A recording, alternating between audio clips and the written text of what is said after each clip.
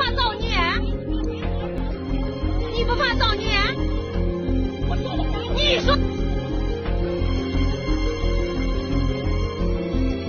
晚上七点多遛狗，在那个冰湖边上遛狗，我正往前遛狗呢嘛，我听见猫嗷嗷的叫嘛。国家电网这个单位门口，这个男的拿一个黑笼子，把一个那个怀孕的母猫，还拿两个大大锁子锁在箱子里，完了拿就是刚烧开的一百度的水在那浇猫呢。嗯，他说的，嗯，那个是流浪猫，嗯，偷吃他的东西了，嗯，他要往死整他了。他单位那个院里可多流浪狗、流浪猫呢。